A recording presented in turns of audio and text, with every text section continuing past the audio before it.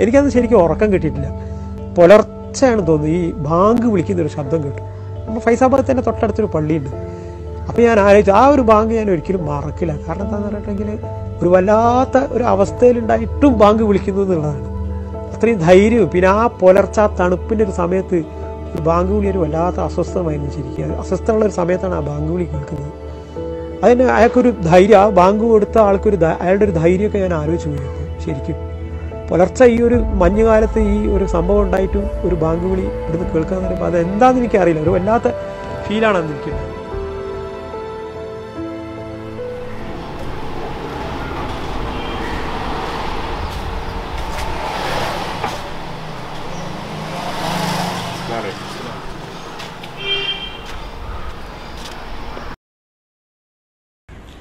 December ആറിൽ ആ ദുരന്തം സംഭവിക്കുമ്പോൾ ഞാൻ നാട്ടിലല്ല ഉണ്ടായിരുന്നത്. ഗൾഫിലായിരുന്നു. ദുബായിലൊരു ഗവൺമെന്റ് സർവീസിൽ ദുബായ് മുനിസിപ്പാലിറ്റിയിൽ ജോലി ചെയ്യായിരുന്നു.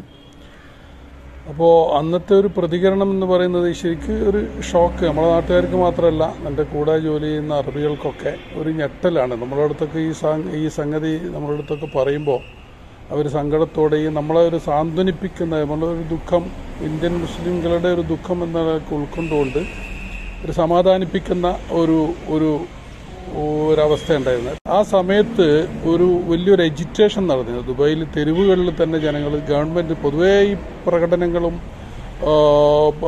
പ്രക്ഷോഭങ്ങളൊക്കെ നിരോധിക്കപ്പെട്ടൊരു മേഖലയാണല്ലോ ഗൾഫ് മേഖല എന്ന് പറയുന്നത്. പക്ഷേ ദുബായിൽ അന്ന് പൊടുന്നനവേ ജനങ്ങൾ എല്ലാ നാട്ടുകാരും ഇന്ത്യൻ ഇന്ത്യ പാകിസ്ഥാൻ ബംഗ്ലാദേശ് അതേപോലെ യൂറോപ്യൻസ് അടക്കം അറബികളും അതിൽ പങ്കുചേർന്നുകൊണ്ട് വലിയൊരു പ്രകടനം അപ അപ്രഖ്യാപിതമായ ഒരു പ്രകടനം തെരുവിലൂടെ നടക്കുകയും അങ്ങനെ ദുബായിലുള്ള പിന്നെ അത് അധികൃതർ തടഞ്ഞില്ല എന്നുള്ളതാണ്.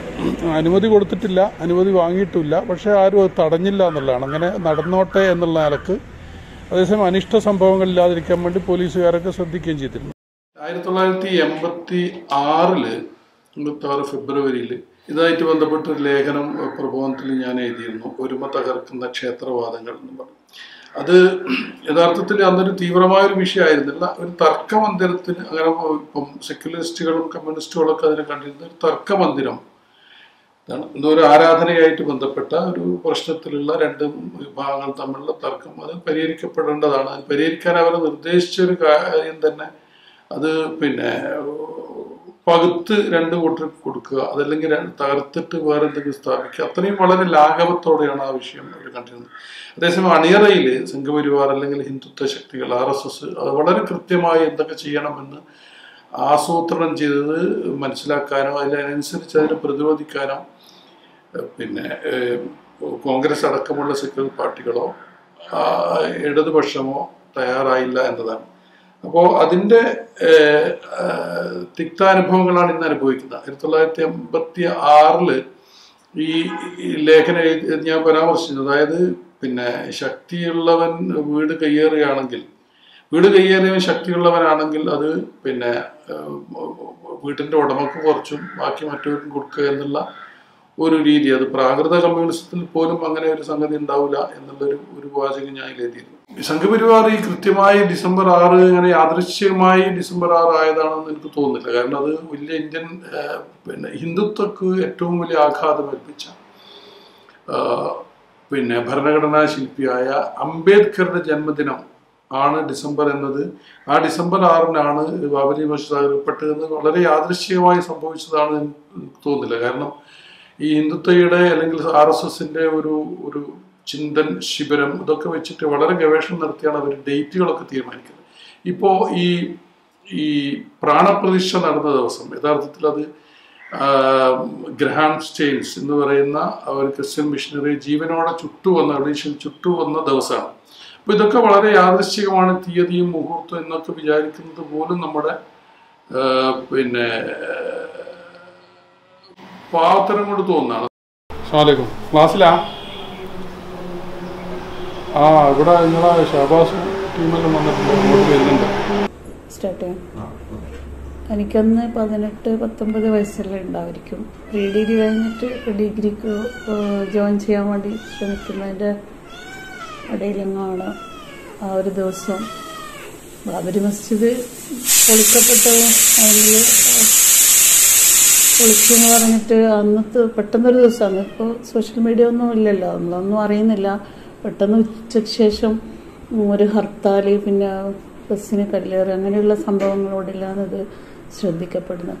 നമ്മളെ സംബന്ധിച്ചിടത്തോളം നമ്മൾ പെട്ടെന്ന് അറിയുന്നത് ആൾക്കാരിൽ ഓടുന്ന പോലീസ് പിന്നെ ബസ് പിന്നെ ബസ്സിന് കല്ലെറിഞ്ഞിട്ടാന്ന് പറഞ്ഞിട്ട് കുറേ ചെറുപ്പക്കാർക്ക് അന്ന് അതൊരു പിന്നെ വെപ്രാളം വയലേറ്റഡായ ദിവസമാണല്ലോ പിന്നെ നമ്മളെ സംബന്ധിച്ചിടത്തോളം ആ ഒരു സംഭവം എന്ന് പറയുന്നത് വീട്ടിൽ നമ്മൾ ഉപ്പയും മക്കളെല്ലാം ഇരുന്ന് ഇങ്ങനെ കാര്യങ്ങൾ ഡിസ്കസ് ചെയ്യുമ്പോൾ പിന്നെ നമ്മൾ മുസ്ലിംസ് പിന്നെ മറ്റ് ക്ഷേത്രം പൊളിച്ചിട്ട് അങ്ങനെ ഒരു ചരിത്രമൊന്നും നമ്മൾ സ്കൂളിൽ പഠിച്ച ഹിസ്റ്ററിയിലോ മദ്രസയിൽ പഠിച്ച പിന്നെ ചരിത്രത്തിലോ അവിടെയും അങ്ങനെ പഠിച്ചിട്ടില്ല. നമുക്ക് അതുപോലെ തന്നെ ഫ്രണ്ട്സ് ഉള്ള റിലേഷനിലോ അതുപോലെ അയൽവക്കത്തെ റിലേഷനിലോ അവിടെയും ഹിന്ദു മുസ്ലിം വിദ്വേഷം അങ്ങനെയുള്ള സംഗതികളൊന്നും നമ്മളെ ചിന്തകളിൽ എവിടെയും ഇല്ല.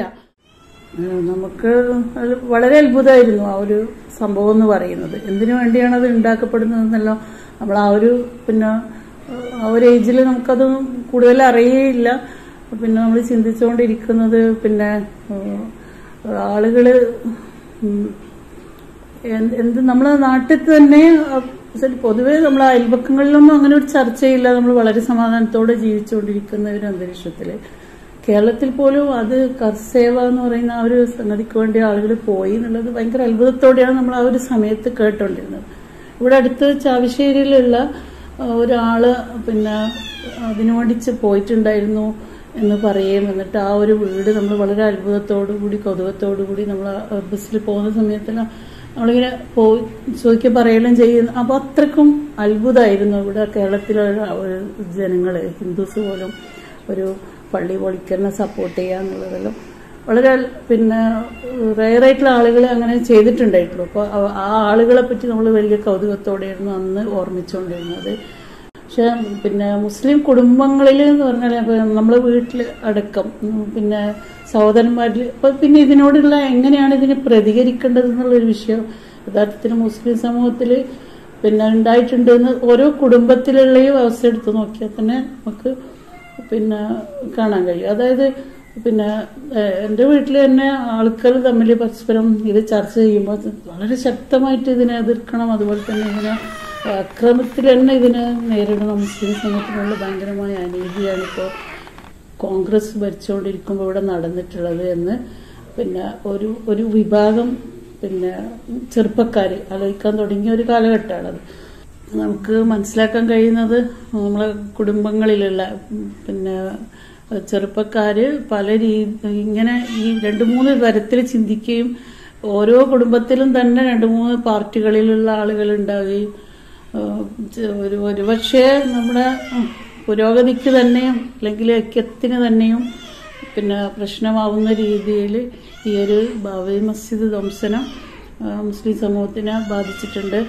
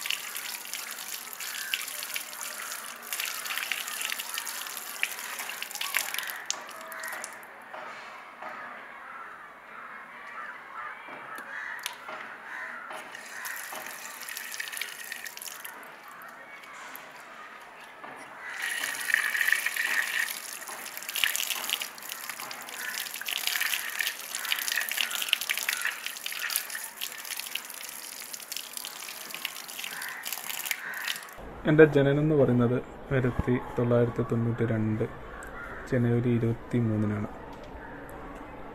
അപ്പോൾ ബാബിരിയെക്കുറിച്ച് എന്റെ ഓർമ്മകളെ ചികയുമ്പോൾ ലഭിക്കുന്നത് ആദ്യകാല ചെറുപ്പത്തിലൊക്കെ പിന്നെ ഡിസംബർ ആറ് എന്ന് പറയുമ്പോൾ ഒരു ഹർത്താൽ പോലെ ഒരു ഫീൽ ചെയ്യുന്ന ദിവസങ്ങളായിരുന്നു. പള്ളിയുടെ പുറത്ത് പോലീസ് ഉണ്ടാകും. അഥവാ അന്ന് ആളുകൾ ഏതോ ഒരു ഭീകര അന്തരീക്ഷത്തെ ഭയപ്പെട്ടുകൊണ്ടിരിക്കുന്ന ഒരു ഫീലാണ്. ചെറുപ്പകാലത്ത് ബാബിയെ കുറിച്ച് ആലോചിക്കുമ്പോൾ അല്ലെങ്കിൽ ഓർക്കുമ്പോൾ ലഭിക്കുന്നത്. പിന്നീട് ഒരു വായനയുടെ ഘട്ടം എത്തുമ്പോഴാണ് എന്തായിരുന്നു ബാബരി?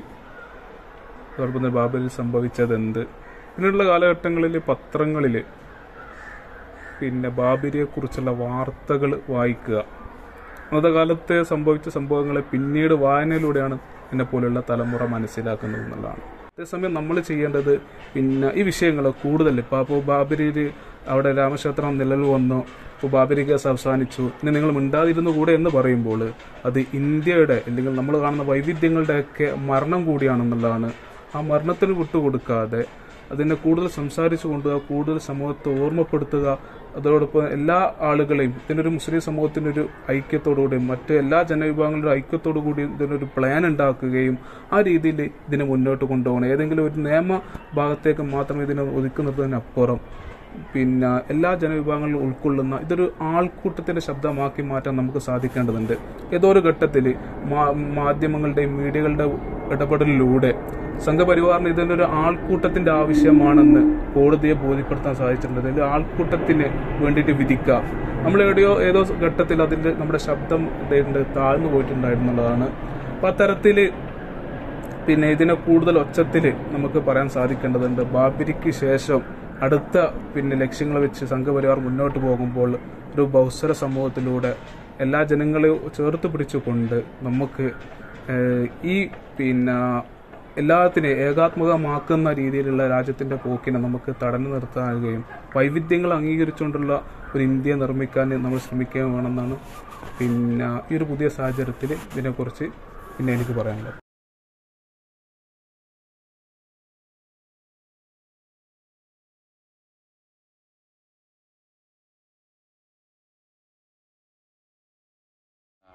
ബാബരി എന്നുള്ളത് ഭയങ്കര ഒരു ഇൻജസ്റ്റിസ് ആണ്. നമുക്ക് പേഴ്സണലി അവിടെ ബാബരിയുടെ സ്ഥലത്ത് ബാബരി അല്ലാതെ ബാബരി പൊളിച്ചതിന് ശേഷം മറ്റെന്ത് വന്നാലും അതൊരു ഭയങ്കരമായിട്ടുള്ള ഒരു അനീതിയാണ്. പോസ്റ്റ് ബാബരി എന്നുള്ളത് ഭയങ്കരമായിട്ട് എന്താ നമുക്കിങ്ങനെ ഓരോ ടൈമിലും ഓരോ പല ഇസ്ലാമോഫോബിയയുടെ പല തരത്തിലുള്ള ഒരു എവിടെയെങ്കിലും ഒരു ബോംബ് പൊട്ടിയാൽ പോലും ഒരു നേരെ അറ്റ് ഫസ്റ്റ് മുന്നിലൊരു മുസ്ലിം ഉണ്ടായിരുന്നെങ്കിൽ അയാളെ ഒരു പ്രതിയായി കാണ അയാൾ പ്രതിയല്ലെങ്കിൽ പോലും പ്രതിയായി കാണപ്പെടുന്ന ഒരു സമയമാണ് ഈ പോസ്റ്റ് ബാബരി എന്ന് പറയുന്നത്. എപ്പോഴും നമ്മളൊരു ഡൗട്ട്ഫുൾ ഇറയിലാണ് നിൽക്കുന്നത്. നമ്മൾ എന്തെങ്കിലും തെറ്റ് ചെയ്യുമോ മീൻസ് ഇപ്പം കമ്മ്യൂണിറ്റിനോട് കമ്മ്യൂണിറ്റിയിലെ നേതാക്കൾ തന്നെ നിങ്ങൾ സംയമനം പാലിക്കണം എന്ന് പറയുന്നത് കമ്മ്യൂണിറ്റിയെ പറ്റി തന്നെയുള്ള ഒരു ഡൗട്ടാണ് നിങ്ങൾ നമ്മളെന്തെങ്കിലും ചെയ്യാം? നമ്മളിതുവരെ ഒന്നും ചെയ്തിട്ടില്ല എന്നുള്ളതാണ് ഭയങ്കരമായിട്ടുള്ള ഒരു യാഥാർത്ഥ്യം. നമ്മൾ ഇത്ര കാലമായിട്ട് അത്രക്കും പീസ്ഫുൾ ആയിട്ട് നമ്മൾ എന്താ ഇവിടെയുള്ള കോൺസ്റ്റിറ്റ്യൂഷനിൽ എങ്ങനെയാണോ അത് മീൻസ് അതിലും ഭയങ്കര അതിന്റെ ഏറ്റവും ലോ പാറിലാണ് നമ്മളെ കോൺസ്റ്റിറ്റ്യൂഷണൽ റൈറ്റ്സ് പോലും ഉപയോഗിക്കാതെയാണ് നമ്മൾ ഇത്ര കാലം നിലനിന്ന് പോന്നിരുന്നത്. ബാബരി തകർക്കപ്പെടുന്നതും നമ്മുടെ കോൺസ്റ്റിറ്റ്യൂഷണൽ റൈറ്റ്സ് ഉപയോഗിക്കപ്പെടാത്തതിന്റെ ഒരു ഉദാഹരണം കൂടിയാണ്. സിസ്റ്റം നോർമൽ സിവിൽ സൊസൈറ്റിയോ റെസിസ്റ്റ് ചെയ്യുന്ന ഒരു സൊസൈറ്റിയെ പേടിപ്പിക്കുകയാണ്.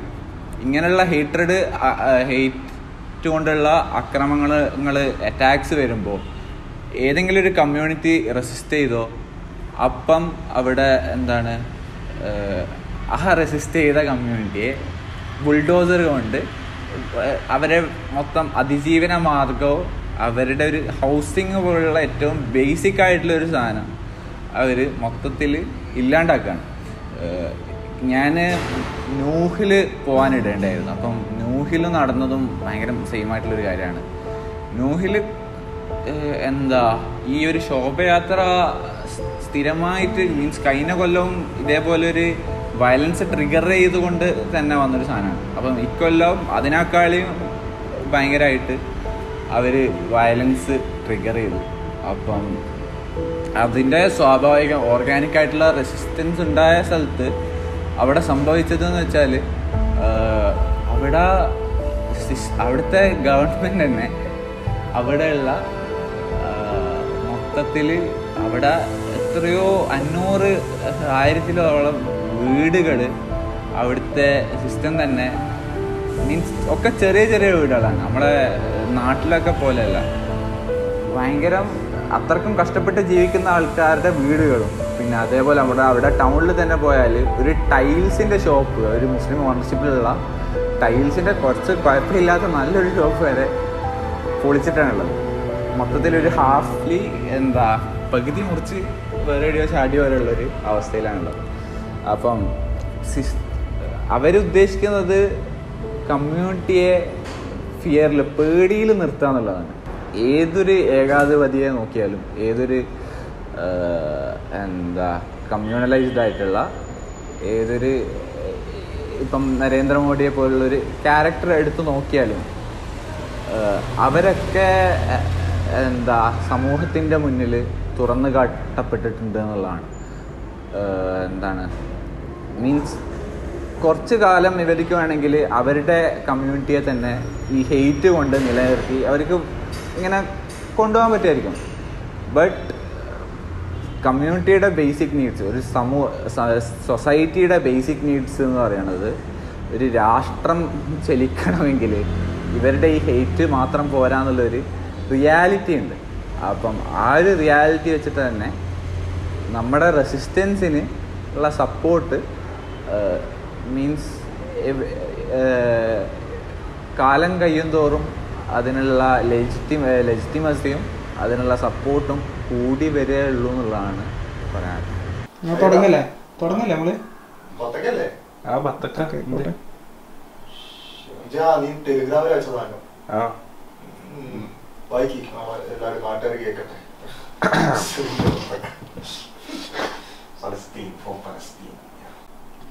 ദേഹേച്ഛയ ദൈവമാക്കിയവർ പോലും ഇലാഹ് തനിക്കെല്ലാ ബത്തക്കകളും സ്വന്തമായി നൽകുമെന്ന വാഗ്ദാനം കൊടുത്തതായി ചൊല്ലുന്നു.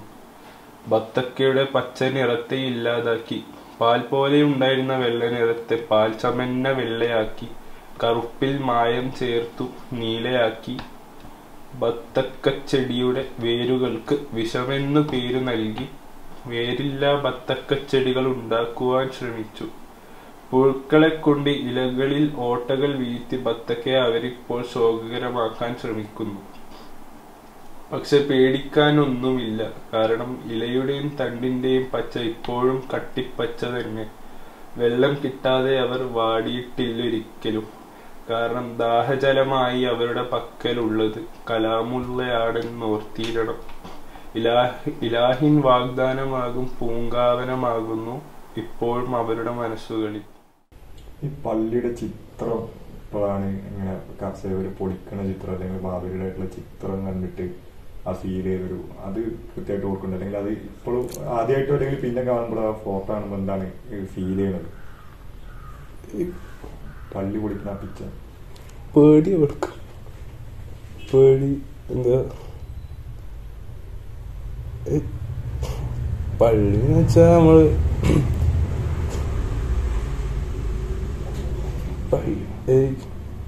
ഒരു ഈ പള്ളി തകർക്കാന്നൊക്കെ വെച്ചാ അതായത് ഇസ്ലാമിനെതിരായിട്ട് തന്നെ ചെയ്യുന്നതാണ് നമ്മൾ ഒരു പള്ളി എത്ര പള്ളി ഒന്നാണ് പൊളിച്ചെങ്കിൽ രണ്ടാ പൊളിച്ചെങ്കിലും അവർ അവരെ എയിമം തന്നെ അടിക്ക് ഇസ്ലാമിനെ ഫുള്ളായിട്ട് ഇതാക്കണം. അതിന്റെ പേടിയുണ്ട്. ഇതിനെതിരായിട്ട് എന്ത് ചെയ്യണം എന്നുള്ളൊരു ഇതുണ്ട്. അങ്ങനെയൊക്കെ ആയിട്ട്. അത്തരത്തിൽ റിയാക്ട് ചെയ്യാനാണ് മിസ്റ്ററിന് ആഗ്രഹം. റിയാക്ട് ചെയ്യാൻ പല വഴികളുണ്ടല്ലോ. അപ്പൊ അതിനെ ഒരു മിസ്റ്ററിന്റെ വേ ഓഫ് റെസിസ്റ്റൻസ് എങ്ങനെയാണ് ഒക്കെ ഒക്കെ എഴുതണം എന്നൊക്കെ ആഗ്രഹമുണ്ട്.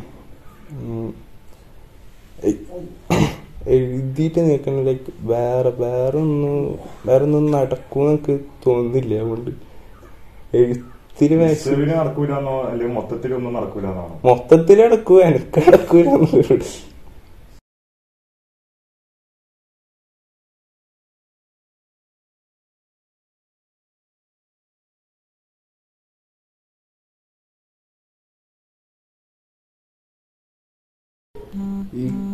കഥകളിലും സിനിമകളിലൊക്കെ എന്താണ് ഇസ്ലാമോഫോബിക്കായിട്ട് കുറെ സംഭവങ്ങളൊക്കെ ഉണ്ട് ഞാൻ വായിച്ചതിലൊക്കെ കണ്ടിട്ടുണ്ട്. അതിൽ വൈക്കം മുഹമ്മദ് ബഷീർ ഒരു ബുക്ക് പറഞ്ഞിട്ടുണ്ടല്ലോ. വൈക്കം മുഹമ്മദ് ബഷീർ ഒക്കെ എഴുതാൻ തുടങ്ങിയത് തന്നെ ഈ ഒരു റീസൺ കൊണ്ട് തന്നെയാണ്. ബഷീ- ബഷീർ വായിച്ച എല്ലാ കഥകളിലും മുസ്ലിംസ് വില്ലനോ അല്ലെങ്കിൽ അങ്ങനത്തെ എന്തെങ്കിലും കള്ളന്മാര് ആ, അങ്ങനത്തെ എന്തെങ്കിലും ഒരു റോളിലായിരിക്കും ഉണ്ടാകുക അപ്പൊ ഈ ഇതിലൂടെ ഇതിലൂടെ എന്താ ഉണ്ടാകുന്ന വെച്ചാൽ എല്ലാരും വായിക്കും. പിന്നെ ഇസ്ലാമിന്റെ ഒരു പൊതുവായിട്ടുള്ളൊരു ഒരു ഇസ്ലാമിന്റെ ഒരു ഇമേജ് മുസ്ലിങ്ങളുടെ ഒരു ഇമേജ് അതായി മാറുക. എങ്ങനെ അങ്ങനെയാണ് ഇപ്പൊ എല്ലായിടത്തും നടന്നുകൊണ്ടിരിക്കുന്നത്. മുസ്ലിംസ് തീവ്രവാദിയാക്കുക മറ്റേതൊക്കെ. സിനിമയിലൂടെ അങ്ങനെ. അപ്പോ ഇപ്പോഴും കുറേ സിനിമകളൊക്കെ ഉണ്ട് ഇപ്പോ ഇപ്പൊ രണ്ടായിരത്തി ഇരുപത്തി മൂന്നിലായാലും അങ്ങനത്തെ കുറേ ഇറങ്ങിയിട്ടുണ്ട് ഞാൻ കണ്ടിട്ടുണ്ട്. ഇപ്പോ ഈ ഇസ്ലാമ തീവ്ര ഇസ്ലാമിനെ കുറിച്ച് പറയുന്നതൊക്കെ ഇസ്ലാമിനെ കുറിച്ച് വലിയ അറിവുന്നില്ല മുസ്ലിംസിനല്ല? അവർക്ക് മറ്റേതാണ് ഇതാണ്. ഖുറാനിലൊന്നും അങ്ങനെ ഒന്നും പറഞ്ഞതായിട്ട് ഞാൻ കണ്ടിട്ടില്ല ഇതുവരെ ഏറ്റവും. പിന്നെ ഓരോ പെണ്ണ കണ്ടേ ഓരോ കാണുന്നത് ആരൊക്കെ വിധ സിനിമകളിൽ നിന്നൊക്കെ കഥകളിൽ നിന്നൊക്കെ അത് നോർമലൈസ് ചെയ്യപ്പെട്ടു അപ്പോ അത് മാറ്റണം എന്നുള്ളൊക്കെ ആഗ്രഹമുണ്ട്. അങ്ങനെ തന്നെ ആയിരിക്കും എന്താണ് ബാബിൽ പൊളിക്കാൻ വന്ന ഏതെങ്കിലും ഒരു മനുഷ്യൻ ഇങ്ങനെ നോർമലൈസ് ചെയ്യപ്പെട്ടതിലൂടെ. ചങ്ങയ്ക്ക് അറിയില്ലായിരിക്കും. ശരി ചെയ്യേണ്ടി വന്നു. ഒരങ്ങനെ തന്നെ ജനിച്ചത് അങ്ങനെ തന്നെ കേൾക്കുന്നു. ഇപ്പൊ പലസ്തീന്റെ ഇസ്രായേൽ ഇസ്രായേലിനെ സപ്പോർട്ട് ചെയ്ത കുറെ ആൾക്കാർ ഇപ്പൊ പലസ്തീനിലേക്ക് വന്നത് തന്നെ എങ്ങനെയാണ്? ഞാൻ പണ്ടേ വിശ്വസിച്ചത് അവർ എങ്ങനെയാണ്? ലൈക്ക് അവർ പറയുന്നത് പണ്ടേ ഞാൻ വിശ്വസിച്ചത് മുസ്ലിംസ് ഏതാണ് അവർ അവരവിടെ ജീവിക്കാൻ പറ്റില്ല അവർ മനുഷ്യന്മാരെന്ന് അറിയുന്നത് ഇപ്പാണെന്നൊക്കെ കുറെ ആൾക്കാർ പറഞ്ഞു. അപ്പോ അവർക്ക് അതൊക്കെ മാറ്റം എന്നൊക്കെ ഉണ്ട്. എഴുത്തിലൂടെ ബോധ്യം മാറ്റാൻ പറ്റുന്നതാണ് വിശ്വസിക്കുന്നത് റൈറ്റിങ്ങിന് അത്രയും പവർ ഉണ്ടെന്നാണ് വിശ്വസിക്കുന്നത് റൈറ്റിംഗ് ഭയങ്കര പവറല്ലേ അങ്ങനെ. അല്ലേ ഓക്കെ പൊളി പൊളി. അല്ലേ?